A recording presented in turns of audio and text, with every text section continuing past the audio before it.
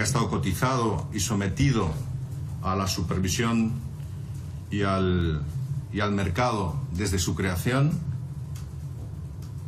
que jamás ha incumplido ni una sola vez los requerimientos legales, como se han encargado de decir aquí tanto las autoridades como el auditor, de repente, en una noche, son desposeídas de su propiedad.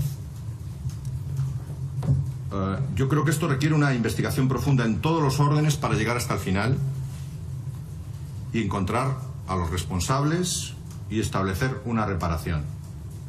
Estoy completamente de acuerdo con las manifestaciones que han hecho en este sentido algunos de los señores diputados.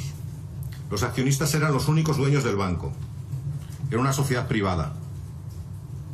La propiedad además es un derecho fundamental que en el caso del Banco Popular ha sido conculcado y esto debe tener una reparación. Podremos debatir sobre si la gestión que se hizo durante el tiempo, y ahora iré sobre ella, fue mejorable o no.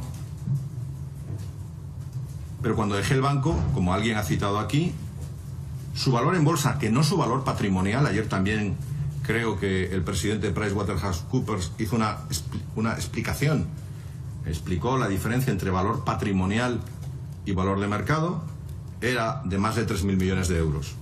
Y es verdad que habíamos recibido una oferta meses antes por 5.500 millones de euros y hablaré sobre eso más adelante. Y creo que nadie puede dudar de la entrega de todo el Consejo en crear valor para los accionistas. Siempre el banco tuvo esa orientación.